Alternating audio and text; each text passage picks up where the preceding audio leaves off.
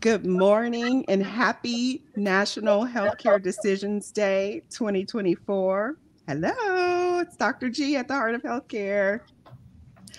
We are so glad to be here. We have an interdisciplinary panel, uh, and we have the founder of National Healthcare Decisions Day, Nathan Kottkamp, and we are excited to make sure that everyone come 2025 knows about National Healthcare Decisions Day and that they have their advanced directives in place and have identified a surrogate decision maker. So, welcome everyone. So, what we're going to do to start is I want to just go around. We'll start with Nathan. Hello. Hello. Thanks for having us. Of course. Um, and then we'll go down the interdisciplinary panel. So we have an RN, uh, Helen Bauer here from the Heart of Hospice podcast. Hello. Hi. Thanks for including me. This is a very intimidating, awesome group of people. oh my gosh. I'm the one who's sweating here, fangirling all of you. Thank you for being here. And standing in as our chaplain today, leader of chaplains. Hello. I'm from Harbor Healthcare System. I'm working as a chaplain through Harbor Healthcare System. All right. And then going to social worker and our friend, the co founder of the Death Deck, Lisa Pahl. Good morning. Hi, Dr. G. Thanks for having me. Of course. And another nurse, and my co-author of the real deal about hospice and end of life doula sharon harris. Hello. Hello everyone. Happy to be here. Thanks for having me. And this is a lot. This is so exciting. We have a medicare specialist and long-term care insurance expert here to talk to us about that type of thing. Kristine Swisher from giving tree. Hi, good morning. Thank you so much for having me, Dr. G happy to have you. Christine Marquez, Christina Marquez, I'm sorry, uh, one of our um, hospice friends here in the community in San Diego. She is the director of business development for Shores Hospice, but she is a POLST specialist. Hello. Good morning. Thank you so much for having me. Good morning. I'm fangirling a little bit too at this group. and last but certainly not least, the person who runs the Conversation Project. Hello, Kate. Good morning, good afternoon, good evening to wherever people are calling in from. Lovely to be with you. Calling in. This is like a radio show from back in the day, right? I know I used to call in. All right, Nathan. So tell us how you came about creating this day. Well, in the simplest terms, I had no idea what I was doing, and that was uh, both the blessing and the curse of it all. So let me step back just a smidge. Um, my day job is uh, healthcare attorney. I do all sorts of regulatory stuff. Um, I practice in Richmond, Virginia, um, but I also have a master's in ethics. And when I went to grad school, I actually thought I was going to do ethics, not to be a practicing lawyer. But within a few months of starting practice, I volunteered for several hospital ethics committees in the greater Richmond area. And I kept seeing the ethics cases pop up over and over again. And it was the same issue. It was end of life decision making with no guidance whatsoever. Uh, it oftentimes came in the context of someone who had um, a, an illness that was not like, you know, sudden and they all of a sudden landed in the ICU. It was heart disease, it was cancer, it was something where they were people who had multiple, if not years long, interactions with the healthcare system. And the notion that they would have gotten to the point of their care where no one talked to them, where no one had a meaningful conversation with them to elicit their choices about their end of life care was just, it was astonishing. It was appalling. And I just couldn't sit by and let it keep happening. So um, I started very small in Virginia with a Virginia Advanced Directives Day, and it was super, super successful two years in a row. We literally had 100% of the hospitals participating.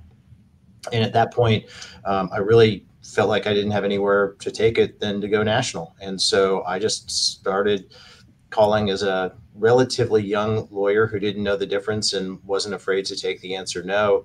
And I just started calling all the, the major organizations around the country. And um, we were sort of in the right place, the right time by a neutral person. So it wasn't one agency asking another, one association asking another, because there's a lot of historical baggage that those folks have. I was just a young attorney just trying to do the right thing. And uh, look where we are today. I wish we had an applause button. Thank you for that. so, where do you? I'm hoping today that we're going to get down to the nitty gritty because all of us here, we work at the bedside Sure. or in some other form. And we see a lot of stories where people, where we could have done a better job of planning ahead. And so that's why we want to be here to get down to the nitty gritty of, of creating those advanced directives. So, um, where do you see it right now? You know, I don't, it's been a few years. And then where do you see it going? So first of all, I, I want to make a, a level setting um, statement about what the event is or the initiative is. We really call it an initiative because there is no real organization. I mean, we were absolutely blessed to have the Conversation Project being uh, serving as like the host of what we do, um, but there is no structure. Anyone who wants to participate can do it however they want, whether it's a one-on-one discussion or some sort of event for thousands of people and everything in between. The other thing that's super important to recognize is that there, there is really no agenda other than education and action. So for people who want nothing at all at the end of life or for- folks who want the full court press, I don't care what their particular choices are. What I care is being sure that I know what those choices are. So hopefully setting that out there will help anyone that's listening to this who's like, well, I'm too small to do anything for National Healthcare Decisions Day, or I'm not doing enough, or I can't do something that big. You can do anything you want. And I, I will be there, and everybody who's on here knows that they can reach me. Anybody can Google me. I will be delighted to have to help with any any ideas because I've seen a lot based on on the feedback that I've gotten over the years. So I'm I'm always happy to support any kinds of programs if I can. Fantastic. Well, we're just going to go around and share something from each of our perspectives. Um, and I had initially I initially talked about having a story of the day. And for listeners, I want you to go check out that movie on Netflix. It's called Queen Bees. Um, I think it's a fun rom com that helps us identify a lot of the issues we see at the end of life. For many people, it's so scary to even think about it, and they don't want to. And in various cultures, you know, have different ideas about even talking about it. For some, it may be superstitious to talk about things at the end of life. So we also want to respect, be respectful of that. Uh, but for those who do want to, you know, take the step and and and get to the nitty gritty of their end of life choices that's why we're here today and so that that movie is kind of a fun way to identify a lot of the issues that we see uh, at the end of life and so I want to know from you, since I have a lawyer here, um, how my question, I'll go first and then we'll just go down the interdisciplinary panel. If someone does everything optimally correct, you know, they create their advanced directive and then they suddenly have a change in their um, mental capacity, can that be challenged by their family members? Um, or the real question is how can we protect folks who have put their advance directive in place from it being challenged from outsiders down the road. You want me to take that from the lawyer perspective? Yes. Okay, Yes. so the the simplest answer is no, it can't be modified, and that's the whole point of these is that when someone has a deeply held belief about the care that they want, whether it's end of life or mental health or any sort of circumstance where they can't make decisions for for themselves, the whole point is to be able to create instructions that cannot be overridden by family or friends or others, and so part of the exercise for all of us that are engaged in this is helping family members understand that and saying this is what your person uh, has told us they want sorry we can't accept your request to do something different we also need to educate other providers about the same thing because some of the time what happens is you get family members who literally go provider shopping for someone who's going to try and do what they want over the objections of of the patient in their advance directives. So I think it's it's a reminder that that a lot of education needs to be done um, to empower people, to empower allies of the patient, uh, as well as folks in the healthcare system to, to honor choices. Thank you. All right. Well, let's just go on down the line. And I really want to say one thing before um, I hand over the mic. Um, Helen, while we were talking about planning this day, she really inspired me to have this interdisciplinary panel because I really took it, you know, like, man, we're really not doing a good job as physicians, you know, talking about advanced care planning and things of that nature. And she really said, you know, we all have a role as an interdisciplinary team in bringing it up because I think, you know, one person may think this person did it and the other person thinks this person did it.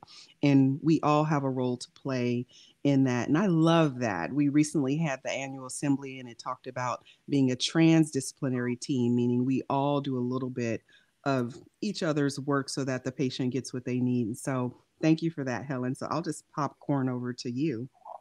Oh, I, I think it's so true that each discipline takes a role because we care for our patients' mind, body, and spirit. So they're really their advanced care planning needs to cover all those areas, mind, body, and spirit. So when I think from a nurse's perspective, what our role is in advanced care planning is to address a lot of the clinical questions that a patient and a caregiver, a family member might have. And if I had to boil it down to just a couple of things that I would want people to know, I would let people know that it's not permanent. You can change it. Your lives change, your opinions change, your beliefs might change, your finances, your decision maker, your healthcare provider might change, your insurance might change diagnosis, and your advanced directive can change too. It's not chiseled in stone. You can always update it. You can retract it if you want to, and you can modify it any way you want. And I think that's important for people to know. I think they get scared that once that that document's in place, that you can't do anything with it and you're stuck with that decision. And if I was talking to healthcare providers, other nurses that were assisting people with their advanced care planning, having those conversations, maybe helping them get those documents in place, I would remind them that a simple signature, either on a piece of paper or electronically, has a major impact psychologically, socially, communally, relationships spiritually for the person who's signing it, or if it's a decision maker signing a document. It has a major impact for those people. For us, it's something we do every day. You know, it, we breeze through it. We may have three or four people that we talk about advanced directives with each day. But for that one patient, that one caregiver, that's monumental. It's huge. It's it's life altering, literally so that's that's what i would really try to help other healthcare professionals other nurses who work with advanced care planning. I think it's important for them to remember that. Thank you helen. All right let's go to let's see social worker chaplain who's next? I'm i'm happy to jump in. Um, I love everything that Helen said. Um, and Nathan, it's so amazing being in community with you as the founder of National Healthcare Decision Day. Um, you know, I am the co creator of the Death Deck and the EOL Deck, which are conversation tools to help people have these important conversations about end of life planning. And I think that a couple of the main things that I want to make sure people understand is that the document is just one piece of it.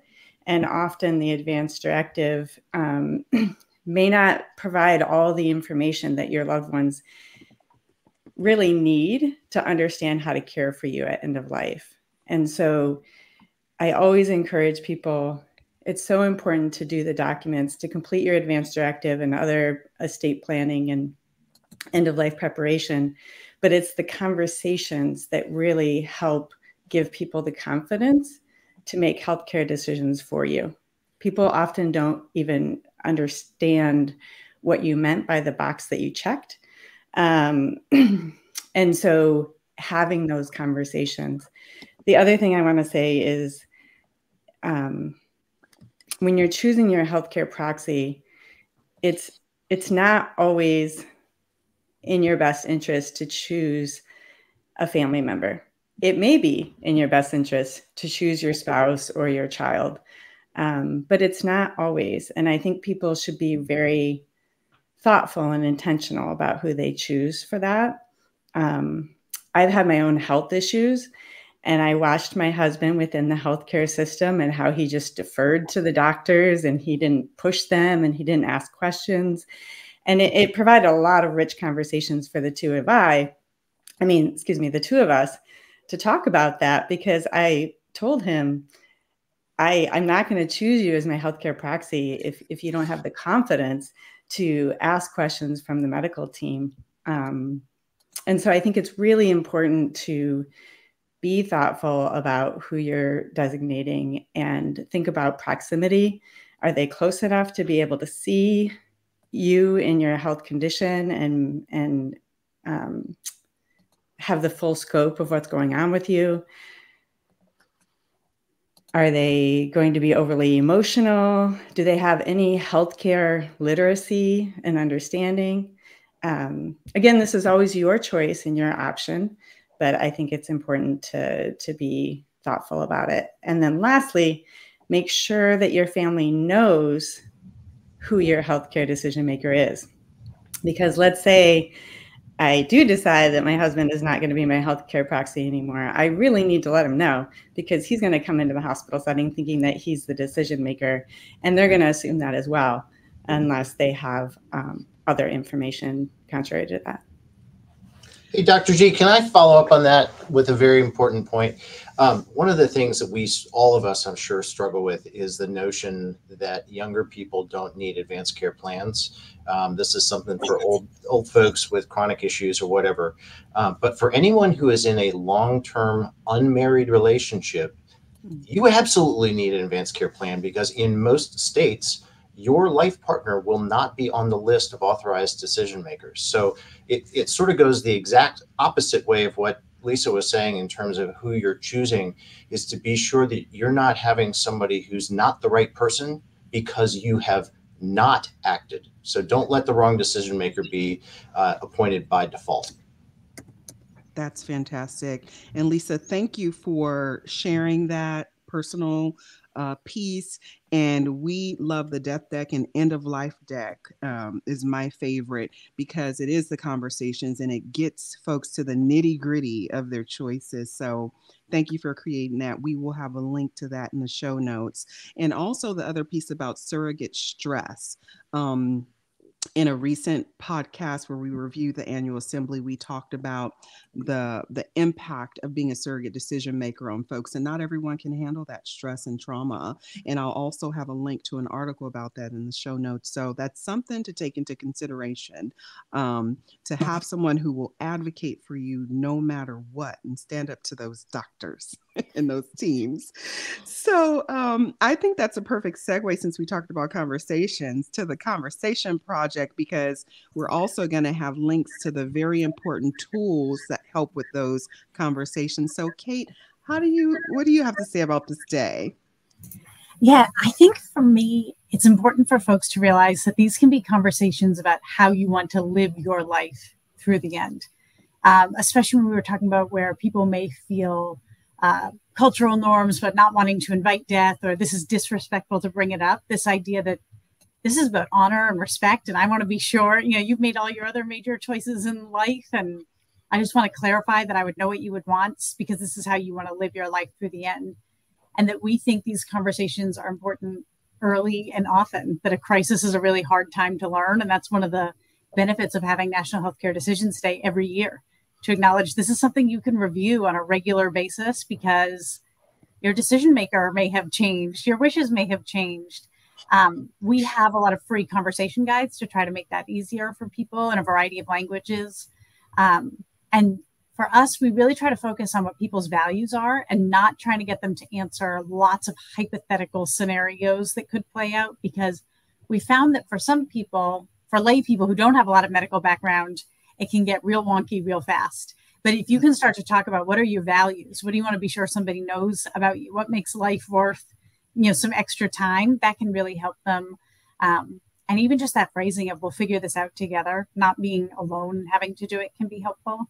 I feel like people listening now have a great icebreaker of listening to that. I was listening to this podcast. It made me realize I'm not so sure what you would want, or I just watched this movie Dr. G recommended, made me realize like I haven't told you some things. So I think the other thing is we often joke that we should have been the conversations project, that this isn't one sit down conversation where you're going to cover everything and you never get to revisit it. That this is kind of inviting dialogue more than once um, if you happen to see something in a movie or a TV show or something in the news, that could be a, an opening to talking about it. And that for those who, I love Nathan's point that anybody listening today, you could choose on National Healthcare Decisions Day to have one conversation with someone. But if you also want to bring this to people where they live, work, pray, learn, we are happy to be a resource. We've got a lot of um, free community tools and just always so excited um, we often find that people receive this message better from people in their own sphere of influence. You don't need a lot of celebrities telling you what to do, but if you hear peers in your community doing this, that really makes a big difference. So, would love to work with anybody who wants to bring this to their area. Awesome, awesome. Well, since we talked about the surrogate stress, um, I'd like to go to um, Chaplain Jerry just because you provide that support not only to the hospice interdisciplinary teams, that's my favorite part of the chaplain's job, but also to the patients and families who are enduring these these heavy issues and grief and all that all that. So we'll go to you and then we'll go to our end of life doula and nurse Sharon. Sure. Well, thank you for having me on this episode. I'm grateful to be here. One of the things that I run into quite often when it comes to advanced care planning are those patients who did not have an advanced care plan in place and the struggle that it causes for the families is immeasurable. They are uncertain about what to do because they haven't had any conversation with the patient so that the patient gave them any instructions they find themselves, the, the, the family finds themselves lost and uncertain about any of this. And the emotional impact that it has on the family is overwhelming for them. And as chaplains and all of us as end of life professionals have to come alongside them and help them walk through this. And the emotional burden and the regret and the guilt that often goes along with this when there's not a plan in place is just immense. So we really encourage people to try to have that advanced care plan in place so that their family already knows, so their family doesn't have the kind of regret and guilt that often is present when there's not a plan. So, one of the things I also want to emphasize here is that we always want to make sure that the, the big rocks are put in place. You know, the DNR or the the POLST, or make sure that there's a um, a medical power of attorney in place. We want to make sure that the big rocks are there. But one of the things that I want to encourage is for people to also make sure that they have the, the smaller details in place. For instance, having a spiritual advanced care plan. And what I mean by that is people die the way that they live. And if they're a spiritual person, if they're a religious person, then they need to put into place some of the things that they would want at end of life. Do they want a particular religious ritual to be done for them before the the death happens? Do they want a particular religious or spiritual ceremony done either before or after they die? They need to put this down. They need to communicate this to their family and to the rest of the end of life team that's going to be working with them. So it's good to have the big rocks in place, but it's also important to have those we might say lesser details, but important details in place just as well. So I encourage them to make sure that uh, that yes, you have the big rocks in place, but don't forget about all the other details as well. And uh, Kate, remind me what it is the the religious um, offering that uh, Conversation Project has. It's I think it's once a year. It actually can be done at any time of the year for for the churches yeah. to actually promote advanced care planning. Yeah, the idea of a conversation Sabbath or choosing a day where we have sample. We got a whole section on our site for faith leaders with sample sermons or different denominations, ways to tie this into that denomination. And I think for a lot of people, a giving permission to think about this. Some of them are lighthearted. I remember a pastor in the Boston area who said, "Everybody in my congregation wants to go to heaven, but nobody wants to die to get there. So I got to talk to them about that. Or um, how to do pastoral care, different programming within the congregation, whatever that may look like. And again, across various denominations. Uh, for many people, hearing it from a faith leader is a much more trusted source of information. Rather, there's a lot of well earned distrust of the healthcare system. And so it's not always best to hear from a healthcare provider or from a lawyer. We don't want people thinking this is only something medical or expensive to do, there's a lot of other uh, messengers who can help normalize this. Thank you for That's that. Great. Thank, thanks, Kate. Uh, and so we would encourage pastors and other faith leaders to use the the system that's already been put in place by the Conversation Project. They can go to the Conversation Project website and get all that information on how to do this and all the helps they need. And so that would be one another way for for this information to be to be pushed out. So thank you, Dr. G. I will put a link to that in the show notes because I didn't know about that. Look, I'm learning too. So uh, we will definitely promote that. Hello, co-author. Oh, happy to be here. Hi, everyone. Um, so for me, um, I do a lot of community service out there in underserved, un, uh, marginalized communities. Um, because I'm finding that, you know, no one wants to talk about this. When I get calls as an end of life doula or I'm contacted, it's always in a crisis mode.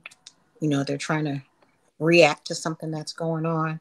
So when I'm out there in the community, I actually do a monthly health fair community where I use all the tools, death deck, end of life deck, uh, conversation project tools, and I find myself just pulling from my tool bag um, just to meet that particular person where they are. Um, so, of course, the conversation is difficult, difficult, difficult. Um, and so that's what I'm about. I'm trying to spark ways to come up with ideas to spark that conversation, just to have that conversation. So, again, back to the health fair that I attend um, monthly, you know, we're all set up with our little boots or whatever. Um, so when I first started going, of course, they would go by my table once they found out what I was there. So um, I had to try to come up with a different approach. So I've kind of narrowed my approach down to two questions, and those are Does your loved one know what you want at the end of your life? And do you know what your loved one's wishes are at the end of their life? Um, so I find out I get a little bit, little bit more dialogue when I just pose those two questions, which kind of opens it up for me to kind of, you know, empower and really stress the importance of having these end of life conversations, having these documents and things um, in place. So, um, I'm actually going to my health fair tomorrow, and I'm looking forward because we have National Healthcare Decisions Day coming up. I'm going to have all of my tools out there again. Um, conversation projects tools are amazing. Um, so the communities that I serve, they are really um, rely heavily on their on their faith, their churches. Um, so I also work with trying to get into churches. Um, speaking to uh, those members, um, you know, hearing it from their pastors or whatever, um, they're kind of a little bit more open and receptive to to having those conversations. Um, so, in addition, I also facilitate uh, workshops, end of life workshops, um, again, just to get this conversation started. And I think that it is so, so very important. Um, again, because I'm getting these phone calls, I'm being contacted when, you know, things have not in, been in place. They're utilizing uh, hospice benefits um, much later on. Uh, they're wondering what can they do at this point. Um, you know, there's a lot of discord within the families. Who, you know, there is no healthcare proxy. Um, so just getting out there, really stressing the importance of, uh, you know, advanced care planning, end of life planning. Um, I decided to start my uh, end of life doula practice again because of the regret that I would hear from family members. Um, you know, wishing they had utilized services sooner, wishing they had had things in place, um, which is really heartbreaking. Um, you know, kind of tugs at tugs at your heart when you know you're you're in the midst of something, um, and you know you could have had some things in place to kind of prevent some of that anxiety, some of that angst. Um, so yeah, that, that's Thank what I'm getting all of that out there and uh, empowering those out there in that community, letting them know how important this is. Thank you so much for all the education you do in the community. Um, and that's at our San Diego YMCA, good old YMCA. Yes. So thank you for all that you do in the community and your training of end of life doulas and being on the NHPCO End of Life Doula Council. It's really, really important work for patients and families to have that service. Um, you know, when they, especially, you know, if they're on hospice or whatever's going on. So thank you for that. So now, um, let's talk about the POLST. We'll we'll switch on over to Christina, POLST specialist. So tell us about that role, and maybe if you have any comments about. I think I heard about a national POLST going on. So just kind of enlighten us on that and the nitty gritty yeah, so I am part of the San Diego Coalition for Compassionate Care. We offer monthly POLST trainings, and our target audience is really um, clinicians, doctors, anyone that's having these regular conversations. Our other role is to normalize death because as a society, we don't want to talk about it. We think if we talk about it, it's not going to happen. So I love to go, I, I love talking about it. I talk about it all day long, like, yay. Um, because I think what I see being frontline all the time is healthcare is still so crisis driven. They have the crisis, I get involved, and then, you know, they're trying to decide if they want to put a feeding tube in or they don't. And and the lack of education around like what actually a feeding tubes are, what types there are, still always amazes me with clinicians and social workers and and doctors and stuff like that. So I really sit down and say, hey, let's break this down. What does this look like?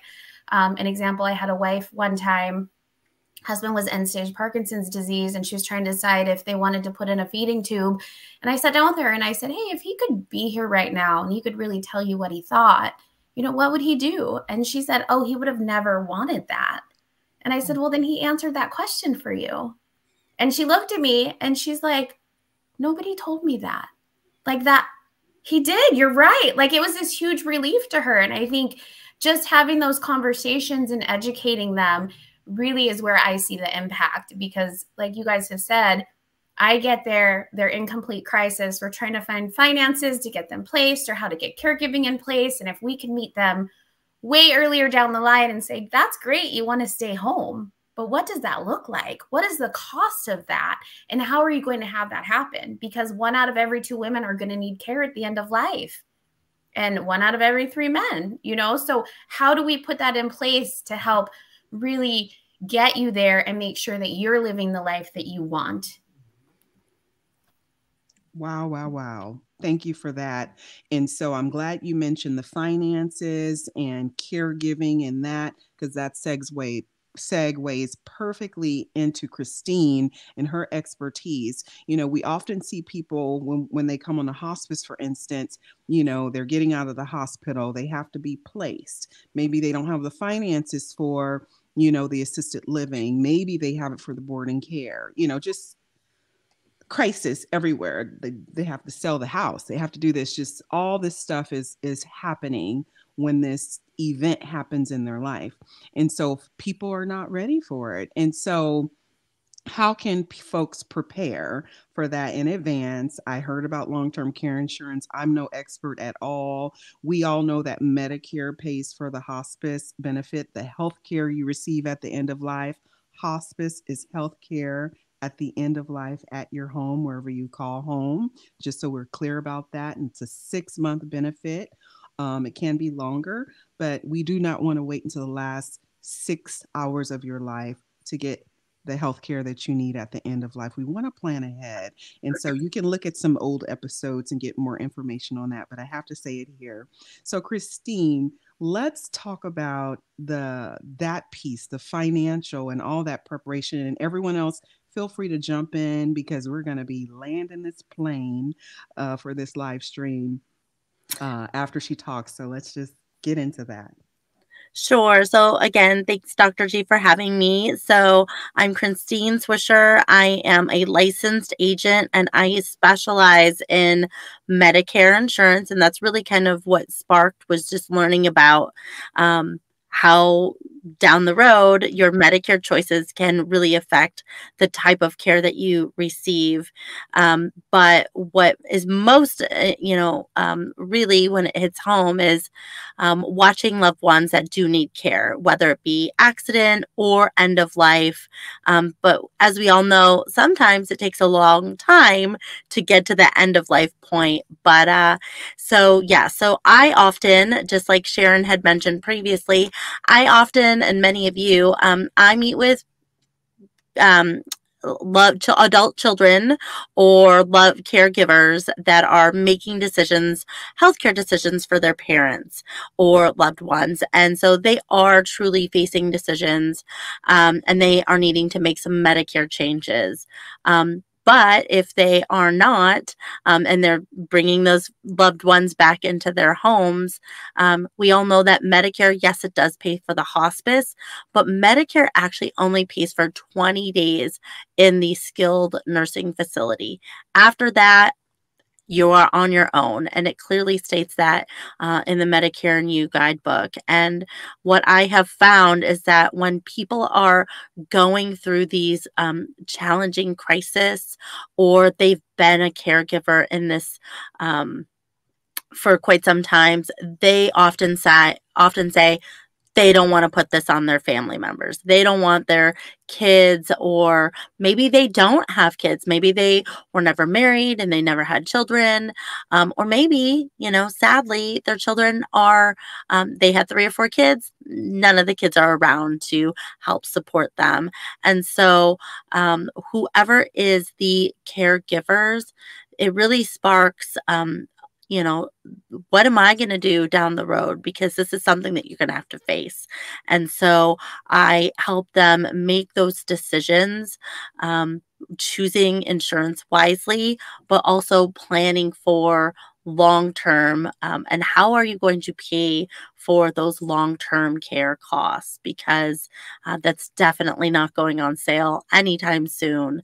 And so i help people across the country. I'm here in san diego um, but uh, i feel very blessed to be able to just educate people. So what can folks do ahead of time um, you know with just to kind of plan for the financial piece of potentially needing care? Sure. So the biggest thing is to one, um, really meet with a long term care specialist. Um, sometimes, oftentimes, people say, Well, I looked into that years ago and it was just way too expensive. Well, if you're not working with a specialist who knows all of the different plans, and especially a plan that will meet your need and work with your budget, so that's the most important part. If you have a budget to allocate those funds to long term care insurance, then you know you also have to qualify based on your health. So the younger you are, the healthier you are, the best, most affordable plan that the person can secure. The other thing is, um, there are clients that um, there are plans that you can get insured as early as 18 because um, sometimes the parents when they go through this because they've been caregiving for their own uh, parents they say you know do you what is the youngest i could get my child um, a policy? Maybe they're going to college and they're going to play a sport where they could be faced with some type of accident or illness where they would need care. I've had many clients reach out um, and and wanting to secure that. So um, you you do have to medically qualify, but if you um, let's say depending on the state, there are some plans that that are considered short-term care insurance and that can cover you for a small window of time and typically that's about a year all right. Well, thank you for that. We have covered a lot of ground here, um, and I'm just so grateful. I hope everyone can take something away. And I'll leave uh, the final words with the founder of National Healthcare Decisions Day uh, to kind of wrap this thing up and, well, and thanks. Oh, it it is always so amazing um, for me to to be a member of a panel like this, where, as I said, I created this thing years ago, had no idea what it was going to blossom into. One of the absolute best and absolute worst parts of it is that it is so big that I don't even know all the activities that are going on. And that's just, it's frustrating because I wish I did, but it's really cool to know that all these folks are out there and we could have triple this panel with another set of experts that are doing great things. So, um, whoever you are, keep doing what you're doing. If you happen to be a member of the public, you can do something too. Go ask your faith leader.